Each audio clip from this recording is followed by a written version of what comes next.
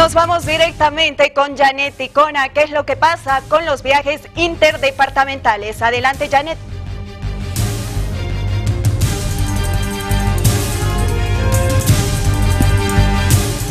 Buenas tardes, en estos momentos me encuentro en la terminal de buses de la ciudad de La Paz, como ustedes pueden observar. Así es el panorama, está totalmente cerrada, no hay eh, salidas de vehículos al interior del país ni tampoco llegadas. Esto ante la medida extrema que ha asumido el gobierno para evitar la propagación de casos de coronavirus en el país. Sin embargo, tenemos conocimiento que varios uniformados policiales, alrededor de 20 mil uniformados policiales están desplegados en todo el territorio nacional a fin de realizar importantes controles para evitar la circulación vehicular, para ver que se cumpla la cuarentena que ha sido establecida por la presidenta Janine Áñez.